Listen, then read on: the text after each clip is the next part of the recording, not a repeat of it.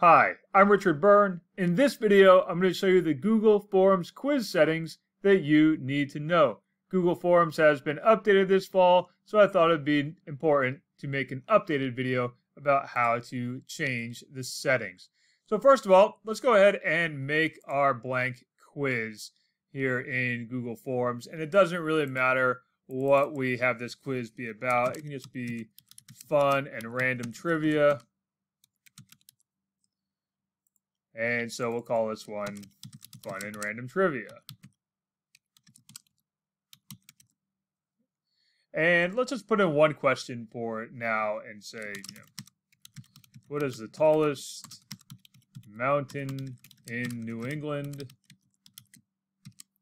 And let's take a look here. And you can see there's the correct answer. But let's also do Mount Adams. And Mount Katahdin and Mount Jefferson.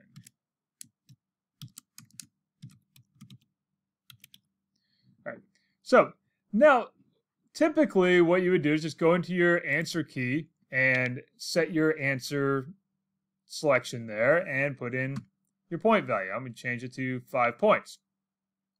Now we can also add some answer feedback, and that is the same as it's always been in Google Forms quizzes. And I can say, oh, that's not it. Hint, it's named after the first president of the United States. And so there's my answer feedback for incorrect answers. That's the same as it's always been. But let's go into settings now. And because I had chosen to create a blank quiz, it automatically toggled over to make this a quiz. Let's look at our grades, and we're going to say immediately after submission or later after I've manually reviewed. And if I do that, it's going to automatically collect email addresses.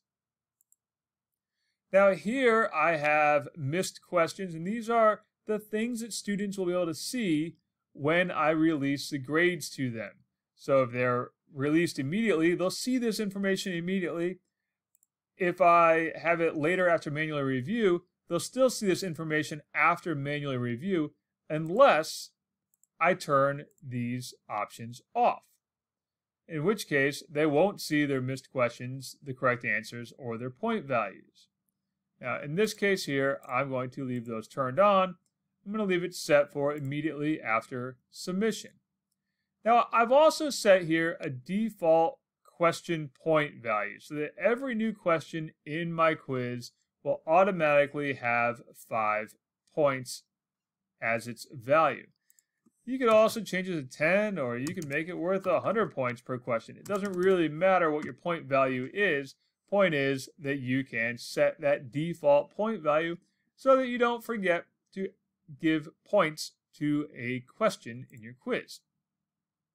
But let's take a look at the response settings. I have collect email addresses turned on. And I'm not going to send responders a copy of their response. Or I could say always or when students request it. I'm going to leave that one turned off. And I'm not going to allow response editing. I just want students to try this one time.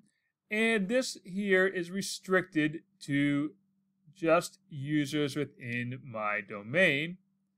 And I'm going to limit them to just one response while they're signed in to their Google account. So they're going to have to sign into their Google account to take this quiz.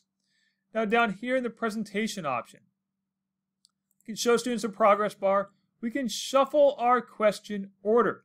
It's important to note about this option. If you select shuffle question order, and you are using a Google Forms add-on that relies on questions being in the same order all the time, this option will break that add-on.